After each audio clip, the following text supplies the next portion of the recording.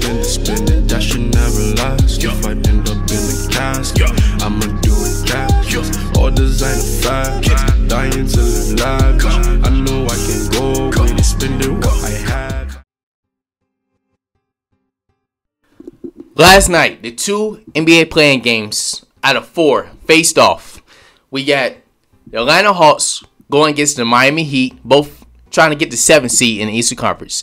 Then we got the Minnesota Timberwolves facing off against the LA Lakers, who they're trying to get the seventh seed and face the Memphis Grizzlies in the Western Conference. And obviously, the bigger story was the LA Lakers winning in overtime against the Minnesota Timberwolves, who didn't have Rudy Gobert, who had AE shooting 3 for 19 from the field, who didn't have Jaden McDaniels, who had Mike Con- Conley looking like the next Seth Curry out there. Obviously, the Lakers was the biggest story, them winning in overtime. But I'm not gonna, I'm not even gonna talk about the Lakers because they shouldn't, even, it shouldn't even win the overtime. They had a terrible shooting night. Today's video, we're gonna be talking about what went horribly wrong with the Miami Heat. What's good, y'all? It's your boy Will. We back and get with another video. Listen, I watched the whole second half of the Hawks versus Miami Heat game. The whole second half. The first half, I was at the gym, you know, getting getting getting work in, and listen, there's a lot of issues with this Miami Heat team. A lot of dysfunction, a lot of chemistry issues, a lot of shooting issues, no rebounding whatsoever, and a culture that is just falling off. What I mean by that is the lack of togetherness with this team from last year previously. Not just last year, from previous years. Remember back in 2020 in the bubble, I don't care what y'all say, it's it they still went to the NBA finals. They had Jimmy Butler, obviously, Bam, obviously, basically kind of the same team. A younger Tyler Herro, and they had Jae Crowder, who just any team he gets on, they just win, right? Until they get to the finals. But that team was together. That team had one of the best defenses in the league. That team had a lot of chemistry. That team had shooting. Fast forward to last year, the same thing. They had PJ Tucker, who is another player who just any team he gets on, they succeed. Big booty Kyle Lowry. We're gonna get to Kyle Lowry in a minute. And the rest of the team. Basically the same team this year, except they lost to PJ Tucker. It was a big loss. Huge loss. They don't have a rim protector other than Bam. But the huge difference between last year and this year, one, shooting. Shooting was amazing for them last year. This year, they of the worst shooting teams in the league. And chemistry. This team looks like they don't want to play with each other. As I seen the game last night, the Atlanta Hawks were running back and forth on this team. They couldn't get back. That's another thing with this Miami Heat team. They look slow. This team's not even that old. Other than Jimmy, other than Kyle Lowry, BBO, and other than Udonis Haslem, who had who he's been the most frustrated player on this team all year. He could tell what's been going on. This team is very slow. They're not that old. They have a young team. They have Gabe Vincent. They have Max Strus, who who's taking up air. He was a mannequin out there. I don't know what he was doing. He was doing absolutely nothing. He was shooting up bricks, barely even shooting. Tyler Herro was doing okay. Kyle Lowry was carrying. BBO, yes, BBO, 55 year old BBO was carrying his whole team last night. Jimmy Butler looked tired. He looked fatigued. He looked like, let's be honest, he looked like he was not ready for this game. That's unlike Jimmy Butler. And obviously, the rest of the team just didn't look prepared.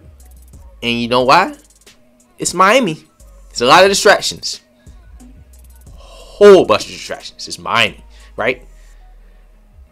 And we're not going to fault Erik Spoelstra. Erik Spoelstra is one of the best coaches, if not the best, still the best coach in the game.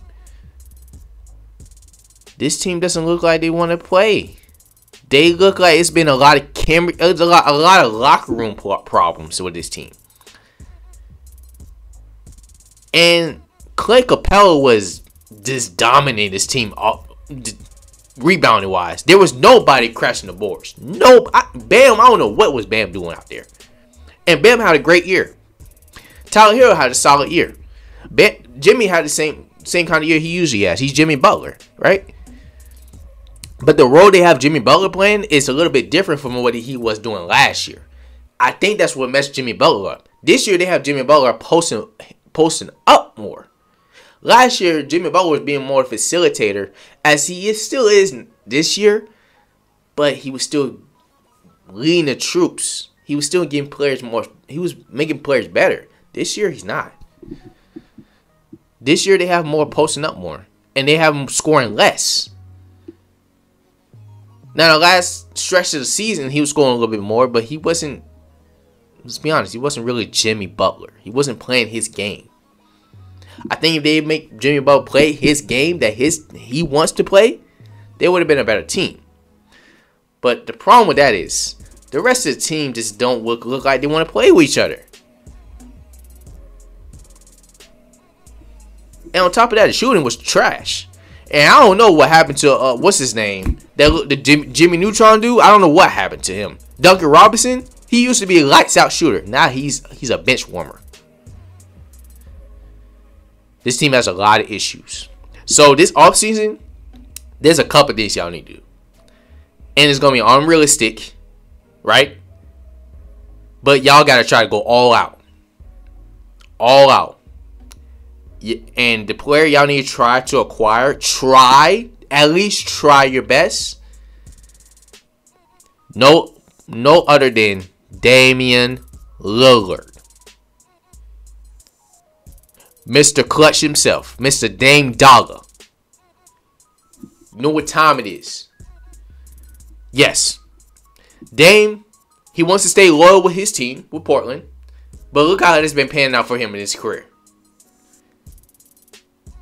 Dame is obviously frustrated. Obviously frustrated. If y'all can, this is what y'all need to do. In order for this to happen, it's not going to happen. I know. But this, is honestly, this is the only option. Other than getting another big, y'all definitely need another backup big. Y'all need another center or another power forward, somebody. Y'all can't have Clint Capela getting 22 rebounds over y'all. Y'all can't have that. Not just Clint Capela, it was a Okongwu getting a lot of rebounds too. It, y'all can't now cannot have that. So, in order for this to happen, try to keep Jimmy and Bam. Everybody else needs to be gone including draft picks. There's only two options for Dame to go to the Knicks and the Miami Heat. The Knicks have more, they have more players, they have more options to trade for, to get, try to get Dame. But let's be honest, they kind of really don't need Dame. I wouldn't really say that, but they they are in a good position. They the fifth seed in the East. They're going to face the Cleveland Cavaliers. They have a great ch- chance to beat the Cleveland Cavaliers. Jalen Brunson's been hooping for this team. It's been a great trade. Miami, y'all need to do something. Y'all need to go all out try to get Dame. Jaylen Brown, you really think Jaylen Brown's gonna want to come to the Miami Heat? Let's be honest, no. Anything's possible, but I just don't see that happening. This offseason, y'all got to try to get Damian Lillard. There's, I don't see any other option other than try to, let's be honest, maybe maybe see what the options y'all have for Jimmy Butler. It's looking like y'all need to blow this team up. This team doesn't want to play with each other. I've seen it almost all year. Erik Spoelstra's not the problem. It's these players that don't want to be with each other. Last year they was all in. You can tell they almost got to the finals, but they they faced the Boston Celtics. This year, they just like whatever. They they don't know they don't know they forgot how to shoot the ball. defensively they still there, but they forgot how to rebound. And you got big booty. You got BBL dropping 33 points. That lets you know this team is not for real. I, I, and I'm saying go plan ahead because I'm I don't care who y'all face in this next play-in game. I don't even think y'all gonna win. Y'all have a better chance against the Chicago Bulls. But if y'all face the Toronto Raptors, it's raps. It's raps. Even then, if y'all beat either one of these teams, y'all gonna get gentlemen swept by Giannis and Milwaukee Bucks. So Miami, y'all have a lot of issues. Yeah, y'all need to resolve, and these issues, y'all gotta really deep dig deep in this offseason and see what y'all want to do, y'all.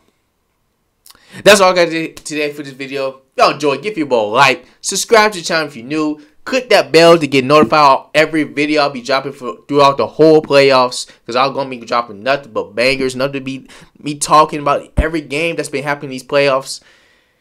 And I appreciate all y'all for support. It's been your boy Will, and I'm out.